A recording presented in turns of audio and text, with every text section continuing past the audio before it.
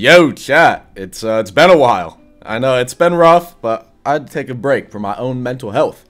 Uh, follow the Instagram. I posted yesterday. Follow the Instagram. But the last like couple weeks, I just haven't been playing deep, and that's normal. You play it a lot, you get burnt out. Take a little break, come back. It's fun again. But I came back, and I'm thinking, wow, this game is terrible. What have they done? And then Type Soul came out, and the, the concurrent players dropped by over 10,000 daily. Like, ooh, ooh, that's rough to see. And honestly, it's been a long time coming. All right, I have a couple hot takes, starting with content. Okay, the content isn't really content.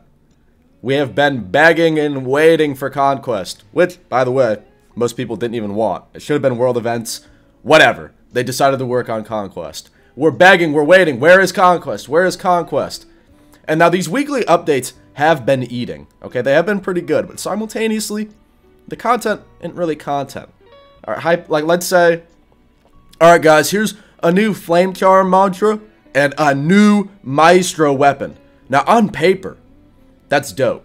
And for like deep tubers and people who do progs, they're eating. For everyone else, huh? I mean, I main medium weapon, and I don't use flame. So for that update, I might as well have just gotten no content. But the way it's phrased, we're so we're so like stripped of content that we see that and it's like jangling keys in front of a baby. Ooh, shiny. Ooh, new weapon. New mantra. Ooh. And we're like, "Oh my god, new content." And you fail to like stop and recognize, "Wait a minute. This is not even content I can even use or care about." Where where is conquest, you know? So a lot of the weeklies Ah, don't even get me started. The game, the vision, stop. Take take the keyboard away from uh, K1 or YapFino, whoever the fuck is responsible. Stop adding your fucking anime slop dog shit to the game. Stop. Stop like go, pulling out your magician's hat and pulling out some random JJK reference. No one cares. These are the same fucking people that made Rogue Lineage. I know y'all are creative. I know that you were not stripped for ideas. I don't want fucking anime shit in the game. Stop. The only people that like it are like five year olds. And that is going into, I fear, Deepwoken's dark ages.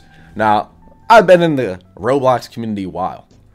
Pretty well involved, actually. I used to be a community manager for the Rel Brothers. And, you know, I saw it with them. Their old games like NSOA, uh, Nindo OA, like NRPG, it was all about like really skill-based content. There were cool things, but with like OACB style fighting, it's like everyone has the same weapon, the same mantra. There's a lot of mechanics. It's it has a really high skill ceiling. It's a lot of fun. It was really like uh, mechanic intensive. You were rewarded for being good. There was a lot of competitive play, but that doesn't really appeal to a wider audience of children. And over time, especially starting with Shindo Life, they threw that out the door. Fuck creativity.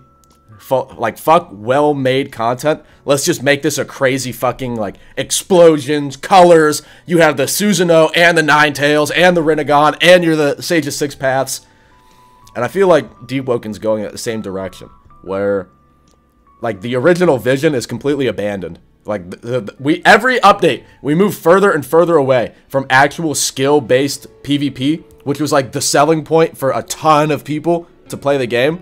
And we were getting into this explosions, crazy bullshit, animations, what the fuck is going on, one shot, super god, like, and it, it, it, it the worst part is that they will never not do that. Like, there, there's no world where we get, like, skill-based combat back. It's only going to continue to get worse and worse because it, it appeals to children. The 12 year olds like to be a super god and they don't even have to think. They just press a button and explode anyone in front of them. So that's just like. It's just gonna keep getting worse and worse. And it happened to like Rel Brothers and like. I like a lot of their games. A lot of the combat now though, you just fucking face roll your keyboard. Just 1, 2, 3, 4, 5, 6, 7, 8, 9, 10, and then explode half the fucking map. You can't even see what's happening. There's no skill involved.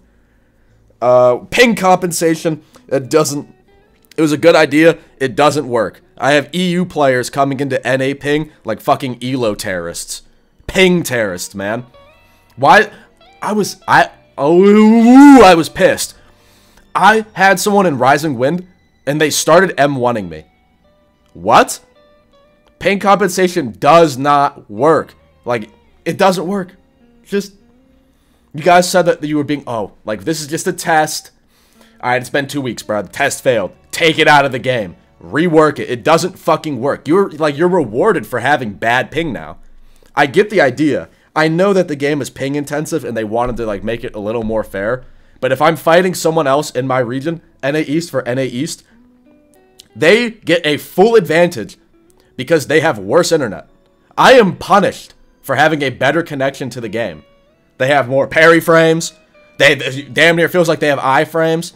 I will parry, see the animation, hear the audio cue, and then still get hit. And then other times, I hit them. Like you see the animation where they take damage, and then they parry when the like every like swing animation's over. I'm starting my second swing, and then they parry. What? Dude, it doesn't work. Or the block, thank I think it's being reworked or like re taken out of the game. Thank God. That doesn't work, bro. It's just dodge frames. What what happened to dodge frames, man?